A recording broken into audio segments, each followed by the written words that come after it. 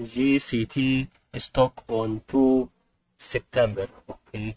Let's see how can we start investing on this part? We go for one minute patron as you can see this is actually the price prediction since it started from here 18 August and until 2 September. So it's about to be two weeks movement waves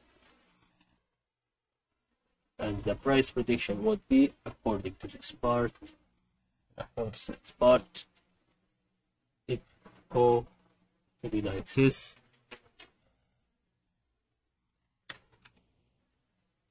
If you see and focus clearly when you put two trend lines that are going to be playable around those waves those trend lines which is the blue line and gray line. Also if we can take in our consideration the red line will be in the future. The next one and then I think would be this price prediction absolutely happen because it's going to be the start of the movement in a slow way and this slow way it's uh, taking a long time to move and that what we wanted to explain on GCT stock today